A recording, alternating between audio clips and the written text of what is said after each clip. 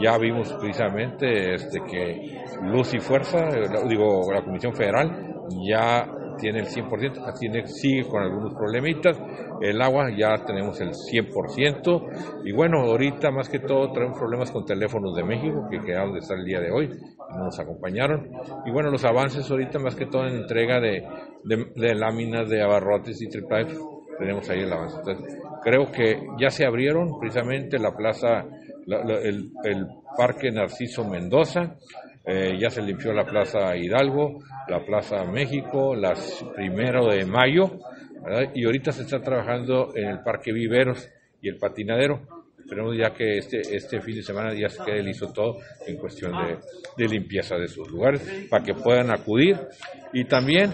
este, ya se están preparando las albercas, ya se les dio instrucciones precisamente para que las albercas estén listas en cuanto llegue el material de la pintura y que las cuatro albercas que tenemos sean ya este, utilizadas por la ciudadanía.